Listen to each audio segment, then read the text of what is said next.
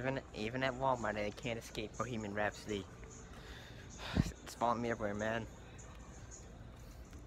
No offense. I mean, I mean it's a good movie, but at the same time, why did it have to win Best Picture at the Golden Globes, man? I'm so sad about that. It's a good movie, but did it deserve it? Let me catch him in public tonight if I want to. No, I don't think it did. I don't think it deserved that Os- that Golden Globe. No, it didn't. I still think it was a Star, a Stars Born or heck even Black Panther. Right? Even was it uh if Beale Street could talk, or even Black Klansman. Black Klansman's great.